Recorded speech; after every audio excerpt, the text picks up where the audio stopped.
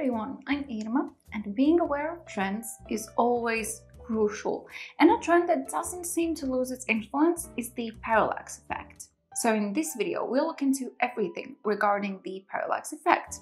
What is it, reasons to use it, and reasons not to, types of parallax effect, including some beautiful examples, and a little tutorial on how to use the parallax effect in Visual Composer.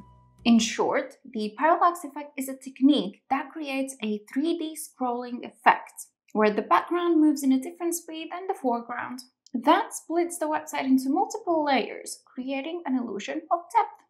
Most commonly, one layer would be the background and the other layer would be the content. As cool as the parallax effect may seem, it has its upsides and its downsides. So let's start with the good things.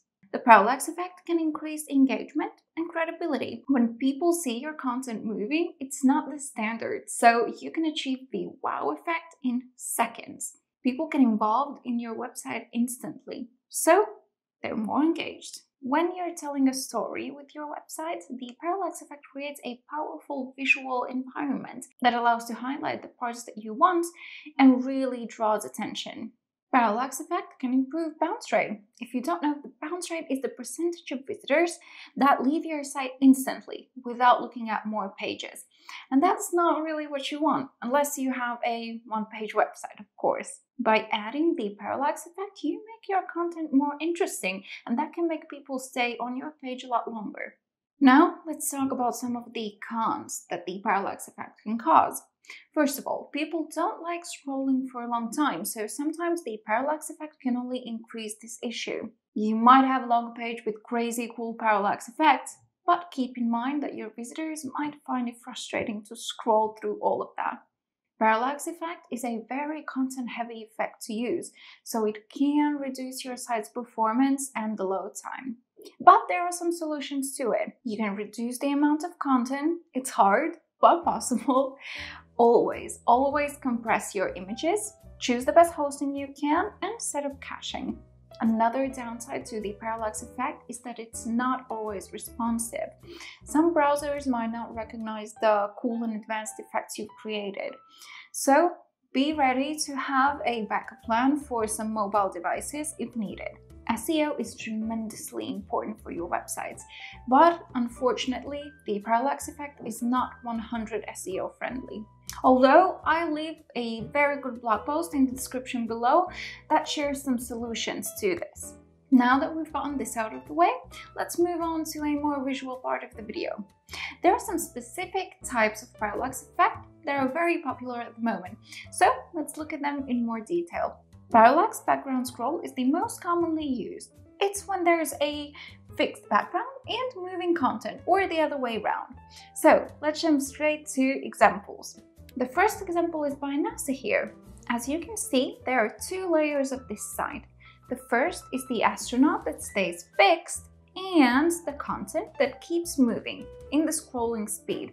That really creates a cool effect of depth here. Another cool example is the portfolio of this UX designer Melanie.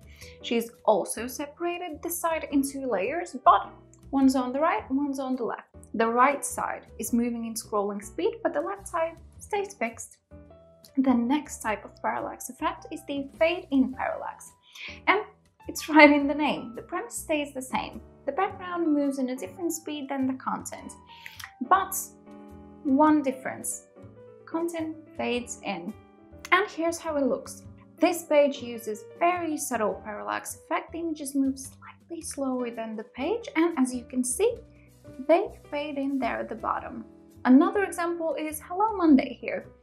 Very similar to the previous one, very subtle parallax effects and the images fade in. This is a great way to use the parallax effect without it becoming overpowering. Another type of parallax effect that is not very overpowering is the zoom in or zoom out parallax effect. It's when one layer, usually the background, zooms in or zooms out while scrolling.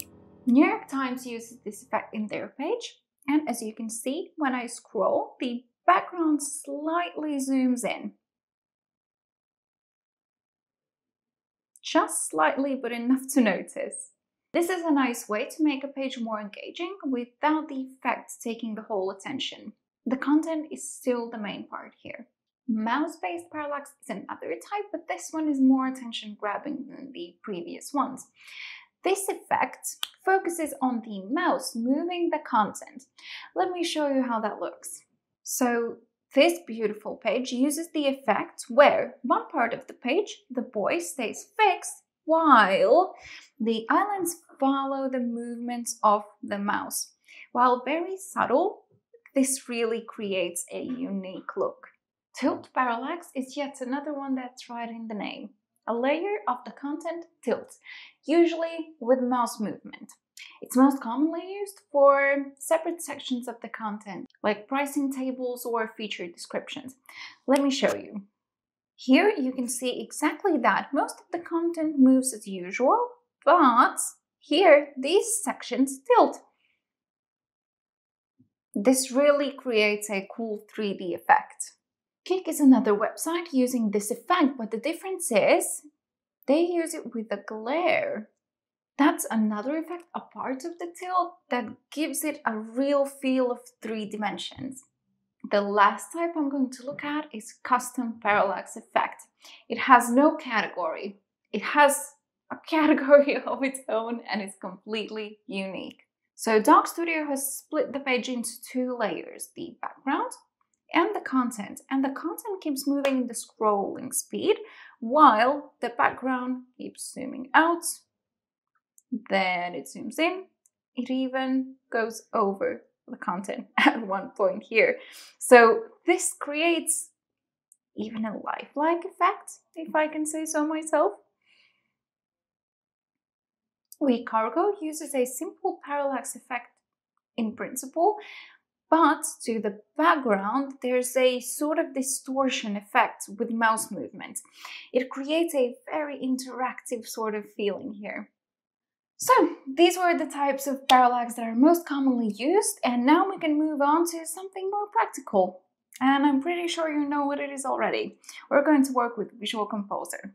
So if you're using Visual Composer, I'm happy to tell you that there's a special designated part in the design options of rows and columns, especially for the parallax effect. So let me show you how that works. First, I've got this simple resume here of this designer with a couple of sections. And I would like to apply the parallax effect here to this image. I want to move in a different speed. So how to go about it? We have to open the design options of this row where the image is a background of. As you can see, it's a background image. And here's the parallax section. So first of all, you can choose either you want the parallax effect to be applied to all devices or you can choose custom devices. So to apply the effect, simply enable this toggle and that will open the options. So here are all of the parallax options we have here in Visual Composer. All right, let's start with simple parallax. This is how it looks. As you see, the image now moves in a different speed than the scrolling speed here. So, but there are some things we can change and first of all, that's the speed. This is quite a dramatic move here, so we can change that to a smaller speed, making the effects a lot more subtle. Another, another thing you can do is reverse the effect, so then the image is going to move on the other direction. Okay, now we can move on to simple with fade. It's right in the name, but for this effect to show up, we need to add some content. Let's add a simple text block. Artist, for example. Just quickly, let's make it bigger. White. And my favorite font. Okay, what we can do now, as you can see what happens, that's the effect. the text fades out slowly here. You can apply that to any row and any column. If you'd apply here, let me show you how that would look. Enable parallax, simple with fade. As you can see, fades out All right, moving on. Let's go back to this row here. Let's try the next. So mouse move is the next type of parallax effect you can choose in Visual Composer. So it's what name suggests. It moves with the mouse, but it works for the background, not the content. As you can see, that's how it looks. And as with the previous one, you can reverse it. Then the content will follow the mouse movements. So the next one again, right in the name, it's tilt. So it will tilt. Very simple, although this effect does not look so good in this big of an area. So we can move on to, let's say this. Let's apply it to this column here enable parallax, tilt.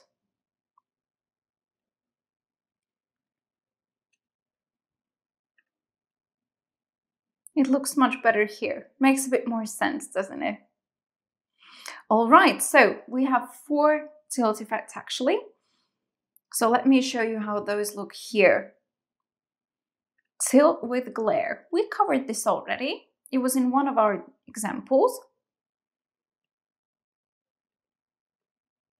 So it's just a tilt, but with a glare, creating that really cool 3D effect. Another one is tilt reverse. So as you can see, it tilts where the mouse is going. Simple as that. So another one is tilt reset. What that does is, as you can see, it stays. The image stays in the position where I leave the mouse. In the previous examples, it went back to the original, the default shape, but here, as you can see, I move here, it stays like that. All right, we've got just one more left. Let me show you. It's the mouse follow animation. For that, you will need more than one background image. So let's quickly add it. Let's add any image here. So whenever you move the mouse, the image changes. Any subtle movement changes the image. You can add a lot of images here and it would all look great. And we're done. Now you should be familiar with all things parallax. So make sure to get your hands on the effect while it's still so popular. And of course, don't forget to subscribe to this channel if you want to see more guides like this. And thank you all for watching. See you in the next one. Bye.